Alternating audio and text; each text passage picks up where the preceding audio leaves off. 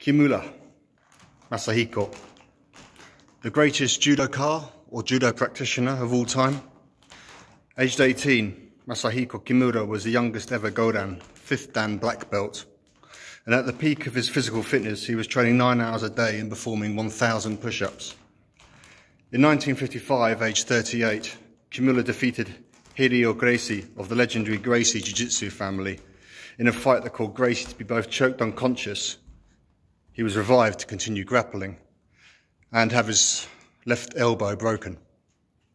During an randori, or free practice at the Kodokan, that is judo headquarters, it wasn't uncommon for a number of Kimura's partners to suffer from concussion. Kimura's natural frosty made even worse by his habit of drinking sake before a training session. When he couldn't find a partner, he would simply practice on the tree. Lung cancer eventually killed him at the age of 75, though even on his deathbed, he was still performing push-ups.